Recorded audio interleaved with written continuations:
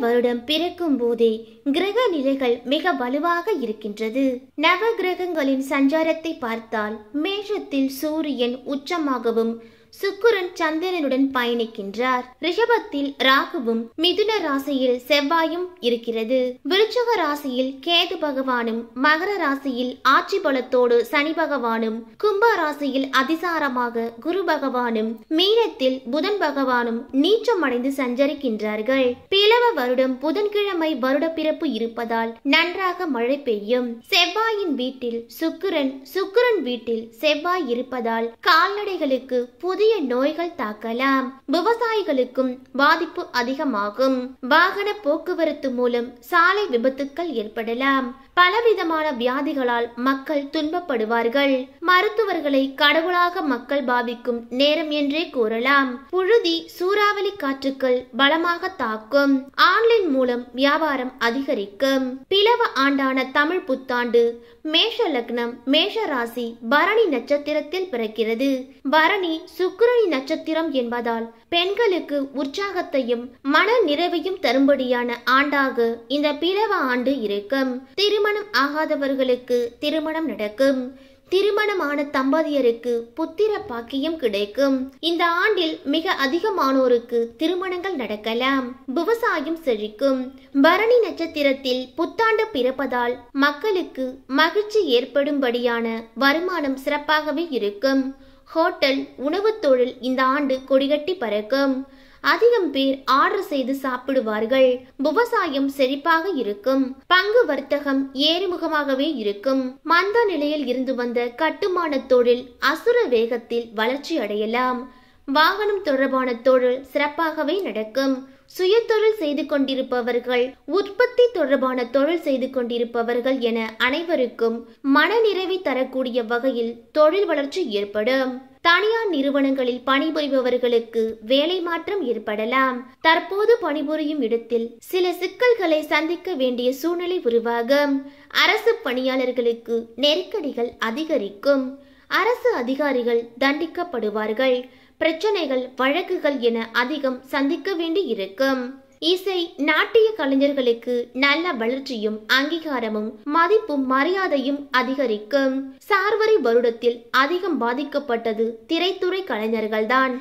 இந்த பிளவ ஆண்டிலும் திரைத்துறை கலைஞர்களுக்கு நல்ல வாய்ப்புகள் கிடைத்தாலும் ஓரளவு மட்டுமே வளர்ச்சியடைய முடியும். தகவல் தொழில்நுட்ப துறையில் மிதமான வளர்ச்சி இருக்கும். அந்த துறையில் இருப்பவர்களுக்கு வேலை இழப்பு அல்லது வேலை மாற்றம் உருவாகும். கடந்த ஆண்டை போலவே இந்த ஆண்டும் வெளிநாடு தொடர்புடைய தொழில்களில் சற்று மந்தமான நிலையே ஏற்படும்.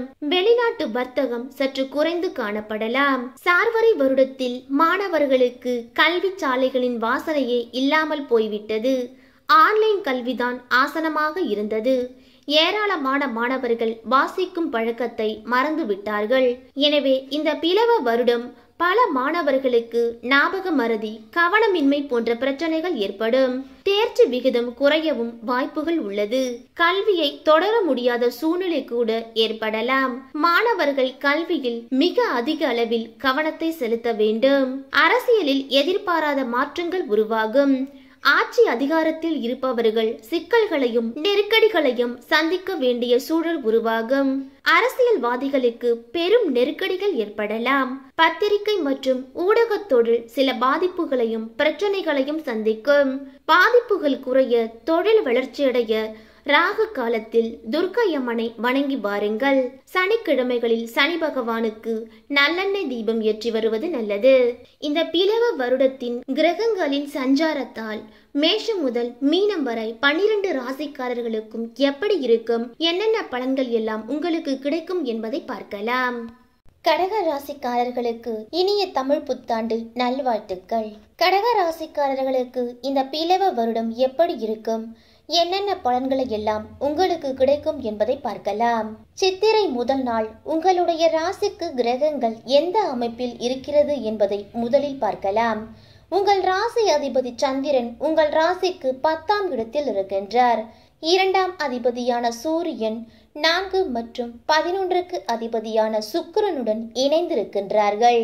ஐந்தாம் இடத்தில் கேது பகவானும் ஏழாம் இடத்தில் சனி பகவானும் எட்டாம் இடத்தில் குரு பகவானும் ஒன்பதாம் இடத்தில் புதன் பகவானும் பதினோராம் இடமான லாபஸ்தானத்தில் ராகு பகவானும் பனிரெண்டாம் இடத்தில் செவ்வாய் பகவானும் இருக்கிறார்கள். இந்த கிரக அமைப்பு மிக நல்ல பலன்களை தரும் என்பதில் எந்த விதமான ஐயமும் இல்லை. இரண்டாம் அதிபதியான சூரியன் உச்சமாகவும் லாபஸ்தானத்தில் இருக்கக்கூடிய ராகு பகவான் ஏழாம் இடத்தில் இருக்கக்கூடிய சனி பகவான் கண்டக சனியாக இருந்தாலும் நன்மை தரக்கூடிய இடத்தில் இருப்பதாலும் மிக அதிகப்படியான நற்பலன்களை உங்களுக்கு அருள்வார் என்பதில் சந்தேகம் வேண்டாம். குடும்பத்தில் மகிழ்ச்சிக்கு குறைவிருக்காது. குடும்பத்தில் ஒற்றுமை பலப்படும். வாழ்க்கை துணையிடம் ஏற்பட்டிருந்த ஒரு சில பிரச்சனைகளும் இப்பொழுது முடிவுக்கு வந்து சமாதானம் ஏற்பட்டு குடும்பத்தில் ஒன்றிணைவார்கள். நெருக்கடி தந்து கொண்டிருந்த கடன் பிரச்சனைகள் படிப்படியாக குறைய ஆரம்பிக்கும். ஏமாற்றம் தந்த நண்பர்கள் கூட்டாளிகள் விலகிச் செல்வார்கள். இனி உங்களுக்கு தொல்லை தர மாட்டார்கள் என்பதை உறுதியாக நம்பலாம். மன வருத்தம் ஏற்பட்டு விலகிச் சென்ற சகோதரர் சகோதரிகள் மீண்டும் ஒன்று சேர்வார்கள். தாய் தந்தையரின் ஆரோக்கியம் மிகச்சிறப்பாக இருக்கலாம். அவர்களுடைய நோய்த்தன்மை வெகுவாக குறையும். சொத்து பிரச்சனைகளில் ஒருவருக்கு ஒருவர் விட்டு கொடுத்து அனுசரித்து செல்வார்கள்.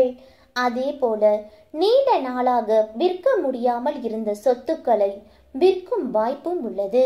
தந்தை வழி உறவுகளிடம் ஏற்பட்டிருந்த பாக பிரிவினைகள் சம்பந்தமான பிரச்சனைகள் முடிவுக்கு வந்து சமாதானம் ஏற்படும். திருமண வயதில் உள்ள கடகராசிக்காரர்களுக்கு நல்ல வரன் வந்து அமையும். திருமணமான தம்பதிகளுக்கு புத்திர பாக்கியம் உண்டாகும். ஆன்மீக பயணங்கள் குடும்பத்தோடு செல்வதற்கான வாய்ப்புகள் உள்ளது. தடைப்பட்டு கொண்டிருந்த குலதெய்வ வழிபாடும் நேர்த்தி கடன்களும் இப்பொழுது இந்த பிளவ வருடம் நிறைவேறும். தொழில் வளர்ச்சி சிறப்பாக இருக்கும். புதிய தொழில் வாய்ப்புகள் கிடைக்கலாம். கூட்டு தொழில் செய்து கொண்டிருந்தவர்கள் இப்பொழுது தனியாக தொழில் செய்யும் வாய்ப்புகள் உருவாகும்.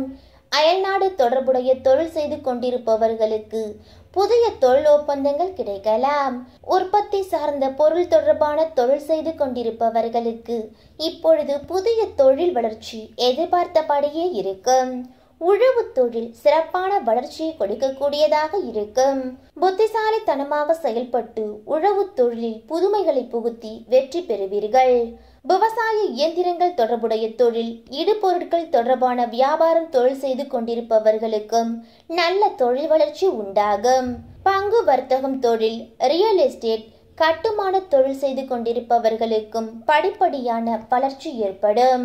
பங்கு வர்த்தகத்தில் எதிர்பார்த்ததை விட அதிகப்படியான ஆதாயம் கிடைக்கும்.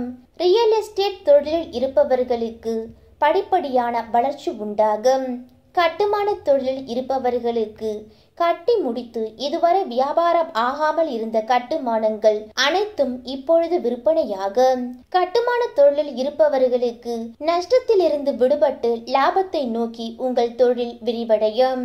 நடைபாதை வியாபாரிகள் முதல் மிகப்பெரிய நிறுவனங்களின் வியாபாரிகள் வரை அனைவருக்கும் ஏற்றம் தரக்கூடியதாக இந்த ஆண்டு இருக்கும். லாபகரமான புதிய வியாபார வாய்ப்புகள் உருவாகும் டிராவல்ஸ் டிரான்ஸ்போர்ட் போன்ற தொழில் செய்து கொண்டிருப்பவர்களுக்கும் உணவகம் தொடர்பான தொழில் செய்து கொண்டிருப்பவர்களுக்கும் சிறப்பான முன்னேற்றம் இருக்கும். டிராவல்ஸ் நிறுவனங்கள் நடத்தி வருபவர்களுக்கு புதிய ஒப்பந்தங்கள் கிடைத்து தங்களுடைய தொழிலை விரிவுபடுத்துவதற்கான வாய்ப்புகள் உருவாகும். உணவகத் தொழில் செய்து கொண்டிருப்பவர்கள் புதிய கிளைகளை தொடங்குவது தங்கள் வியாபார நிறுவனத்தை விரிவுபடுத்துவது போன்றவற்றை பற்றி சிந்திக்கலாம். பத்திரிகை மற்றும் ஊடகத்துறையில் இருப்பவர்களுக்கு சீரான வளர்ச்சியும் தகுந்த அங்கீகாரமும் கிடைக்கும். பதவி உயர்வு கிடைக்கும் வாய்ப்பும் பலருக்கு உள்ளது. வேறு நிறுவனங்களுக்கு மாறும் முயற்சி சிறப்பாக இருக்கும். பன்னாட்டு நிறுவனங்களுடன் இணைந்து பணியாற்றும் வாய்ப்புகளும் உருவாகும். திரைத்துறை கலைஞர்களுக்கு சிறப்பான வாய்ப்புகள் தேடி வரும். மிகப்பெரிய நிறுவனங்களோடு இணைந்து பணியாற்றும் வாய்ப்புகளும் உருவாகும். அடுத்தடுத்து புதிய ஒப்பந்தங்கள் கிடைத்துக்கொண்டே இருக்கலாம். இசை நாடகம் நாட்டிய கலைஞர்களுக்கு நல்ல வாய்ப்புகள் தேடி வரும். அந்த வாய்ப்புகள் உங்களுக்கு ஆதாயம் தரக்கூடியதாகவும் இருக்கும். தங்கள் துறை சார்ந்த பயிற்சி வகுப்புகளை தொடங்கும் வாய்ப்பும் ஒரு சிலருக்கு அமையலாம். பெண்களுக்கு தங்கள் தேவைகள் அனைத்தும் பூர்த்தியாக கூடிய ஆண்டாக இருக்கும். திருமண முயற்சிகளில் உங்களுக்கு வெற்றிகள் உண்டாகும். திருமணமான பெண்களுக்கு புத்திர பாக்கியம் கிடைக்கும். கணவரோடு ஏற்பட்ட மனக்கசப்புகள் மாறலாம். கருத்து வேறுபாடுகளால் பிரிந்திருந்த கணவன் மனைவிக்குள் மீண்டும் ஒற்றுமை பிறக்கும். கடன் பிரச்சனைகள் படிப்படியாக முடிவுக்கு வந்துவிடும். தந்தை வழி சொத்து எந்த தடையும் இல்லாமல் கிடைக்கும். வருமானம் தரக்கூடிய தொழில் வாய்ப்புகளும் கிடைக்கும். அரசு உத்தியோகம் கிடைக்கவும் வாய்ப்புகள் சிறப்பாக இருக்கிறது. முறையாக முயற்சி செய்தால் நிச்சயமாக உங்களுக்கு அரசு பணி கிடைக்கும். வீட்டில் இருந்தபடியே செய்யக்கூடிய வியாபார வாய்ப்புகளும் உங்களுக்கு கிடைக்கும் நேரத்தை திட்டமிட்டு வகுத்து கொண்டு செயல்பட்டால் வியாபாரத்தில் லாபம் கிடைக்கும் மாணவர்கள் கல்வியில் சிறப்பான முன்னேற்றம் ஏற்பட்டு சிறந்த மதிப்பெண்கள் கிடைக்கும் விரும்பிய கல்லூரிகளில் விரும்பிய பாடம் கிடைத்து மகிழ்ச்சியாக கல்வி பயில்வார்கள். கல்விக்கு தேவையான அனைத்து வகை உதவிகளும் கிடைக்கப் பெறுவார்கள். உயர்கல்விக்கான வங்கிக் கடன் எந்த தடையும் இல்லாமல் கிடைக்கும். கல்லூரி படிப்பு முடியும் தருணத்தில் இருப்பவர்களுக்கு உடனடி வேலை வாய்ப்பும் காத்திருக்கிறது. பொதுவாக கடக ராசிக்காரர்களுக்கு ஆரோக்கிய பாதிப்புகள் பெரிதாக ஏதும் இருக்காது. ஏழாம் இடத்தில் சனி பகவான் இருப்பதால் அவ்வப்போது அலைச்சல்கள் சற்று அதிகரிக்கலாம். அலைச்சலால் ஏற்படக்கூடிய உடல் சோர்வு மூட்டு வலி கால் பாதங்களில் பிரச்சனைகள் மலச்சிக்கல் செரிமான கோளாறுகள் போன்ற பிரச்சனைகள் ஏற்படும். உணவு விஷயத்தில் கட்டுப்பாடுகளை வைத்துக் கொள்ளுங்கள். எண்ணெயில் வறுத்து பொரித்த உணவு பண்டங்களை முடிந்தவரை தவிர்த்து விடுவது நல்லது. இந்த தமிழ் புத்தாண்டில் உங்களால் முடியும் பொழுது திருநள்ளாறு தர்பாராணேஸ்வரர் ஆலயத்தில் இருக்கும் சனி பகவானை வழிபாடு செய்வது அவசியம். சங்கடகர சதுர்த்தி என்று விநாயக பெருமானுக்கு அருகம்புல் மாலை சாற்றி வழிபட்டு வாருங்கள். நவகிரகத்தில் இருக்கும் சனி பகவானுக்கு சனிக்கிழமை தோறும் எல் தீபம் ஏற்றி வைத்து வழிபட்டு வாருங்கள். சனி பகவானால் ஏற்பட்ட தொல்லைகள் அனைத்தும் விலகும் கடக ராசிக்காரர்களுக்கு இந்த பிளவ வருடம் தமிழ் புத்தாண்டு வாழ்க்கையில் படிப்படியான முன்னேற்றத்தை கொடுக்கும் ஆண்டாக இருக்கும்